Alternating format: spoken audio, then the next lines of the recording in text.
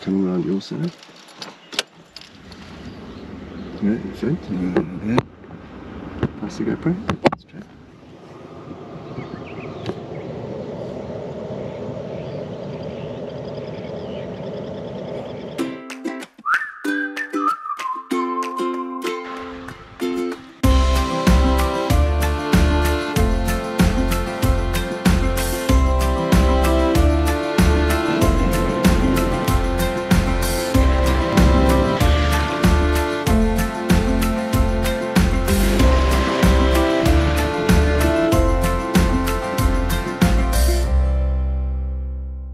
Okay, no luck with the Lions today. We uh, headed to where they were last night and they had moved on and we didn't manage to find them again. We did have, have a lot of roaring last night, um, about a, maybe a kilometer from where we were camping, but inland, so there are not that many roads there. Uh, we might, they might turn up a bit later on. Andy was up in the middle of the night because uh, he thought there was a lion right outside our tent, but it turned out to be a dream. He was uh, zipping up the flaps, asking if he could come join me in the master bedroom. I told him to, to like toughen up, go back to sleep in his little swag. Um, so and then but then uh, searching searching searching for lions nothing happening but then we found a beautiful leopard uh, she was drinking down by the water got some shots of her drinking but then she moved right up went probably within a meter of our vehicle uh, absolutely no fear totally habituated then she moved up inland a bit and we got her climbing up into a tree and she was chasing something around in the tree. Couldn't really see, just saw like movement of the branches, but then afterwards on the footage we saw it was a squirrel. Then I think the squirrel went in a hole in the trunk of the tree because she kept going to this hole and trying to dig something out of it. And then eventually she went down and moved off. So that was great. We got some lovely shots of her. And now we are moving on uh, along the river. We're heading to Serondela to have a cup of coffee. Good Andy? morning. Good, morning. Yeah, so nice to get a leopard, and especially a leopard uh, that was relaxed, and a leopard, and also that there was no, there were no other vehicles to get in our way. So good luck there. We'll get the lions later.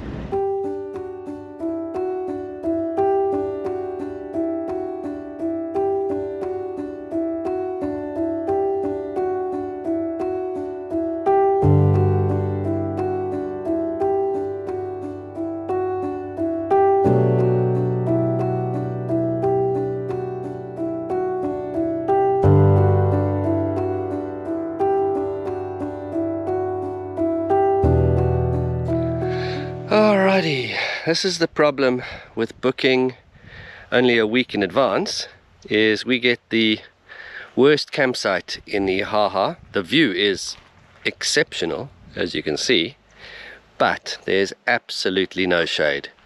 So now it's two o'clock in the afternoon all the other campers are relaxing under the big trees over there and there and we are in the direct sun not that pleasant.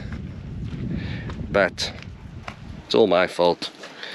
It's your fault, Rob. look at poor Andy. I want a refund. multiple fans. And, and Andy's uh, swag room is not not the coolest. It's like a sauna. it's a, like a sauna. Whereas my um, master bedroom is pretty pretty cool. If I open the windows and the fly sheets got to get a nice breeze going through it. So Andy had to move here into the main area. Multiple fans. Complaining a lot though. I only got the fans about five minutes ago. the fans were there. You could have taken them. You only got the fans because I gave them to you. You had the fans. but it's not really. Anyhow anyhow we'll survive. Stop, stop the whining. your coffee? A coffee. of course. There we go. That'll cool you down nicely all right i'm gonna go sit outside andy. I'll come join you. okay bring a chair. It's very nice out there. So we unfortunately can't even sit out here looking at our beautiful view. We are uh, we actually have to sit at the back here. So the only bit of shade in this campsite is the shade from our tent. So this is our this is our spot where we sit and this is our view. We can see a bit of that a bit of that but mostly that No, no, no, no, Rob. Please don't. Me alone. Look at Andy's little stokies. Anyhow, we're sitting here admiring the view, so I thought I might talk about solar panels a bit. Back when we were here in October, November last year, it was really hot and we were really struggling with power. We had to take our third battery through to town every second day to have it charged on mains because we just didn't have enough power to keep our fridge and freezer cold. Uh, we uh, back back then we only had one 100 watt foldable panel. Then we added the Starlink, which by the way uh, recently became totally illegal in Botswana. So if you do see shots of the Starlink or of Andy streaming videos in the bush, it's uh, they're from a previous trip, uh, maybe in January prior to it becoming illegal. Um, so when we added the Starlink, we added a second foldable panel plus a semi-flexible panel on the on the roof rack, and we seem to be absolutely fine now. Uh, we generating as much power as we are using, a little bit more. I think we'd still be in trouble if we had, say, three or four cloudy but warm days. Um, so I still want to look at getting a bigger panel.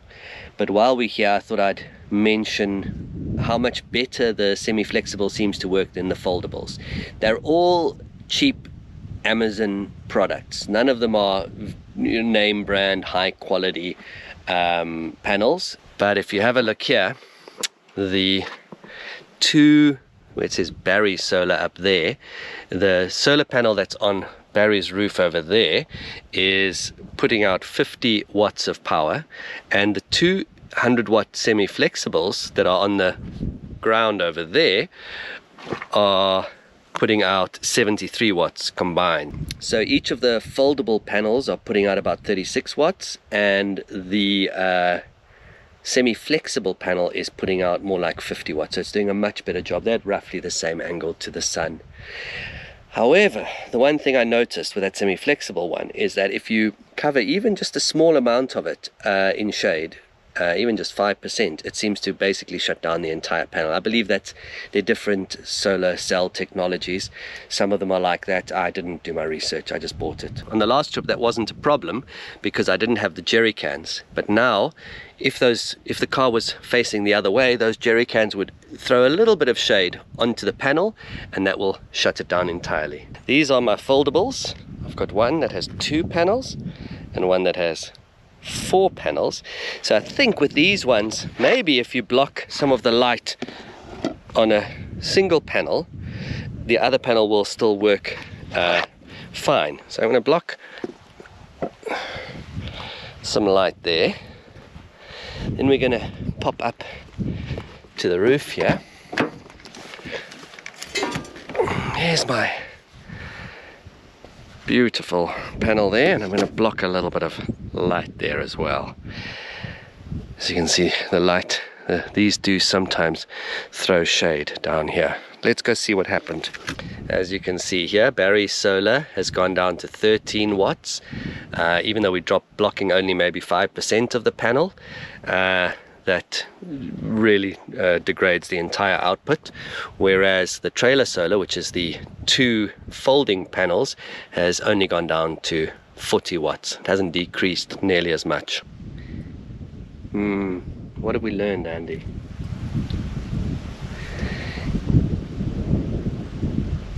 That your equipment's broken. it's not broken but I think the moral, moral of the story is you check that if you're like with solar panels there's so many different ones on the market. Uh, don't buy the cheap ones maybe. That's the moral of the story. And also that for years.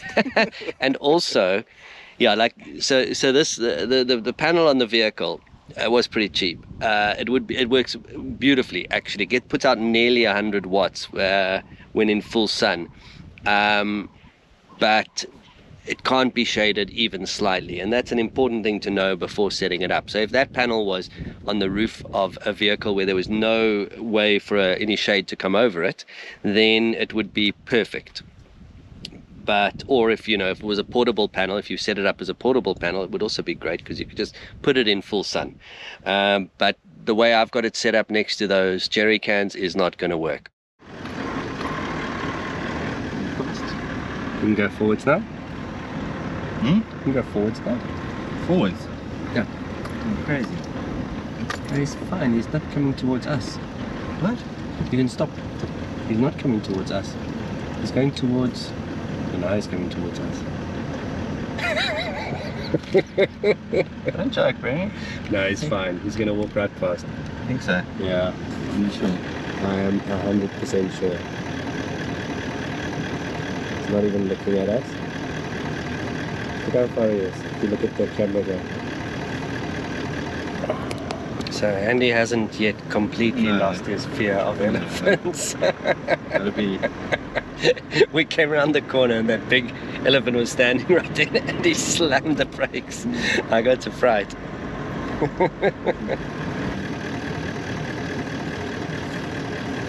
Hope it was. I'm filming this beautiful hoodies. Looking into the sunset on the GoPro. Oh god. Epic.